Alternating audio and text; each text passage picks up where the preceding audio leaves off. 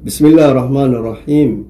Pemirsa yang saya muliakan, Assalamualaikum warahmatullahi wabarakatuh. Alhamdulillahirrabbilalamin, wassalatu wassalamu ala sayyidil mursalin abil qasimil mustafa Muhammad wa ala alihi tayyibin tahirin wa ashabihil mayamin. Allah subhanahu wa ta'ala di dalam surat Al-Baqarah ayat 34 berfirman, A'udzu billahi minasyaitonir rajim.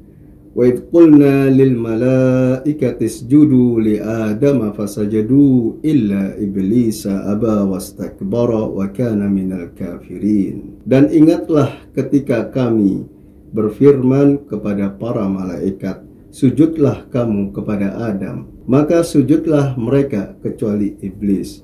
Ia enggan dan takabur dan adalah ia termasuk orang-orang yang kafir. Sadaqallahul aliyul azim. Dari ayat ini pada kesempatan kali ini kami memulai pembahasan tentang makna sujud yang di dalam penjelasan ulama di dalam kitab-kitab mereka. Sujud kepada Allah Subhanahu wa taala dalam arti menyembahnya. Namun sujud kepada selain Allah Subhanahu wa taala dapat diartikan penghormatan kepadanya. Penghormatan atau ta'zim kepada selain Allah Subhanahu wa taala. Terkadang diungkapkan dalam ucapan seperti yang dikatakan oleh orang-orang dengan kalimat salam hormat. Tetapi juga penghormatan juga diungkapkan dalam bentuk tindakan seperti menunduk di hadapan ulama, tokoh masyarakat dan lainnya. Dalam hal ini Sujud yang berarti ungkapan penghormatan misalnya kepada orang tua atau sujud kepada seorang alim besar. Jika dalam arti penghormatan kepadanya, hal ini dicontohkan sebagaimana dalam ayat suci yang telah saya bacakan tadi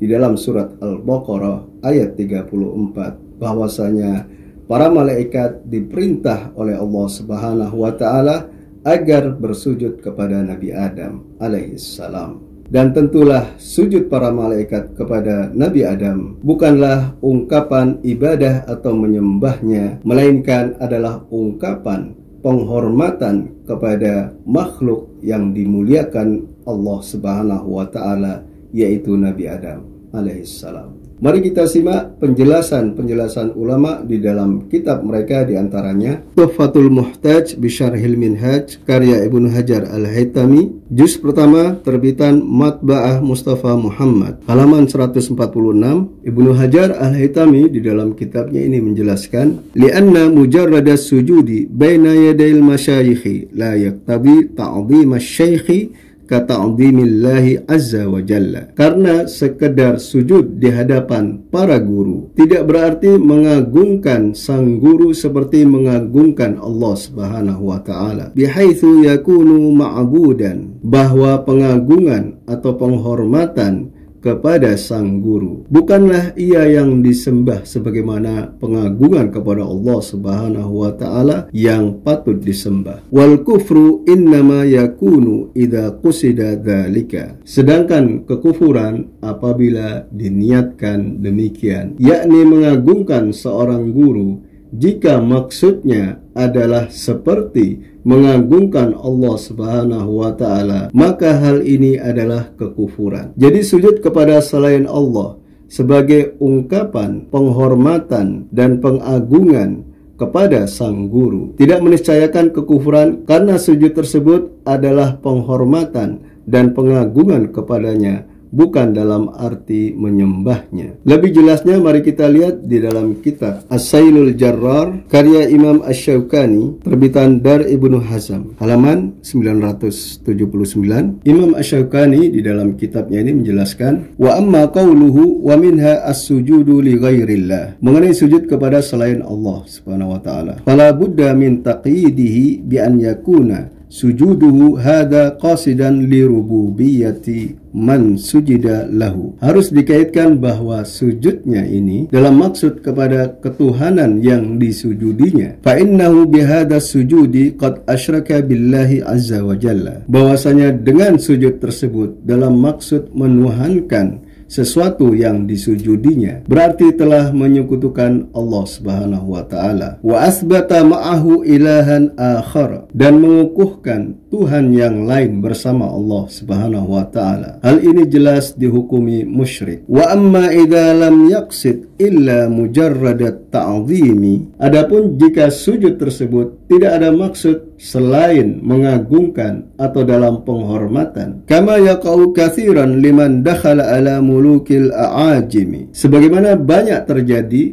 atau dilakukan oleh orang yang menemui para raja ajam annahu yuqabbilul arda ta'ziman lahu. Bahwasanya si pelaku itu mencium tanah sebagai pengagungan kepada raja. Falaisa hada minal kufri fi syai'in. Maka hal ini bukan kekufuran sama sekali. Wa qad alima kullu man kana minal a'lami anna takfira bil ilzami min a'zami mazalikil aqdami. Para ulama pun mengetahui bahwasanya mengafirkan dengan dipaksakan adalah kesalahan yang besar. Faman aradal mukhatarata bidinihi fa'ala nafsiha tajni barakish. Jadi siapa yang menginginkan pertaruhan dengan agamanya, dengan kata lain bertaruh kepada hal yang belum pasti, dia telah berbuat dosa. Oleh karena itu, harus dipastikan sebelum mengafirkan orang lain apakah yang dilakukan oleh si pelaku itu. Seperti penghormatan atau pengagungan kepada selain Allah apakah telah menyembahnya atau dalam arti mengagungkan atau penghormatan kepadanya yang adalah guru besarnya atau kedua orang tuanya atau juga kepada yang lainnya yang dia hormati. Semua ini ditentukan oleh hatinya atau niatnya bahwa dia mengagungkan sesuatu selain Allah. Jika bukan dalam arti menyembahnya maka hal itu bukanlah kekufuran. Sebagaimana yang dijelaskan di dalam kitab Majmu'atul Fatawa karya Ibnu Taimiyah jilid ke-7 terbitan Darul Hadis Kairo halaman 293 Ibnu Taimiyah di dalam kitabnya ini menerangkan falau quddira annahu sajada quddama wasanin Diumpamakan jika seseorang bersujud di hadapan berhala, walam yaqsid biqalbihi as-sujuda lahu dan dia tidak berniat sujud kepadanya, bal qasada sujuda lillahi biqalbihi. Bahkan sebenarnya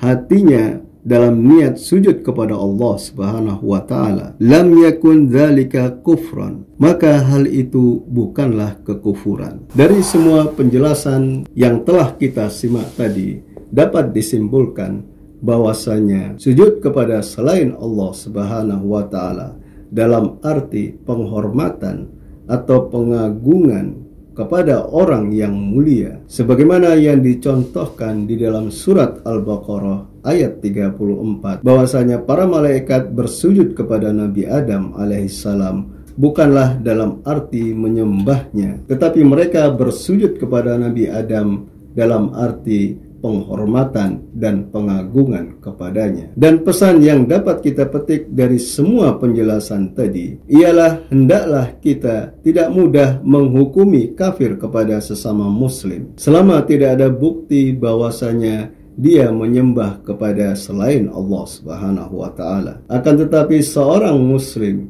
secara zahir dia beriman kepada Allah Subhanahu wa taala dan rasulnya Sallallahu alaihi wa. Ketika dia sujud kepada sesuatu yang dia hormati, yang diagungkan, misalnya kepada Rasulullah Sallallahu alaihi wa alihi, kepada seorang alim besar atau kepada orang tuanya. Hal ini maksudnya ialah dalam penghormatan kepadanya. Sedangkan masalah hati hanyalah Allah Subhanahu wa taala yang Maha mengetahui. Dengan kata lain, sujud yang diniatkan untuk penghormatan kepada seorang yang sangat dihormati tidak menjadikan pelakunya itu kafir. Demikian yang dapat saya sampaikan. Semoga bermanfaat. Wabillahi taufik wal hidayah. Wassalamualaikum warahmatullahi wabarakatuh.